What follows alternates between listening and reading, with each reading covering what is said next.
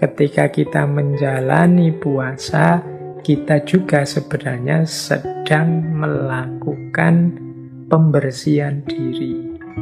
Nah, ini nilai ini namanya nilai purifikatif.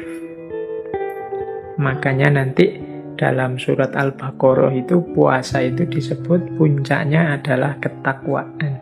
Orang yang bertakwa itu kan orang yang batinnya jernih sehingga anggota tubuhnya secara otomatis sukarela menjalani perintahnya dan menjauhi larangannya. Nah, puasa membersihkan kekotoran-kekotoran diri kita, hasrat hawa nafsu dan macam-macam dikontrol, dikendalikan, ditahan waktu puasa. Ini namanya kita sedang melakukan purifikasi, pembersihan.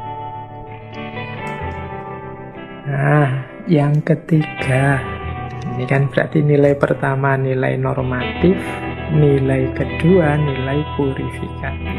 Puasa itu kita menjalani kewajiban sekaligus membersihkan diri. Yang ketiga nilai preventif. Preventif ini nilai pencegahan. Puasa ini dalam kehidupan kita ini fungsinya semacam rem. Kita ini sepanjang tahun seperti orang lari, maka saat hadir bulan Ramadan ini saatnya kita mengendalikan diri sebentar, kita ngerem sebentar. Ini fungsi preventif. Bahkan tidak hanya Ramadan, ada banyak hadis yang menjelaskan bagaimana puasa itu adalah benteng kita. As-sawmu junnatun. Jadi dan ini tidak hanya di bulan Ramadan Rasulullah itu menyarankan misalnya wahai anak-anak muda barang siapa yang sudah mampu kawinlah tapi yang tidak mampu puasalah karena puasa bisa jadi benteng. Nah ini namanya fungsi preventif. Kalau sedang tidak puasa, kita buka diri kita selebar-lebarnya, maka apa pun bisa masuk ke dalam diri kita.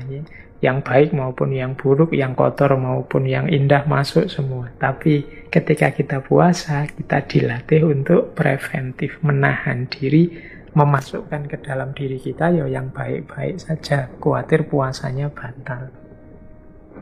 Jadi puasa berfungsi preventif. Itu nilai ketiga yang kita hidupkan saat kita puasa.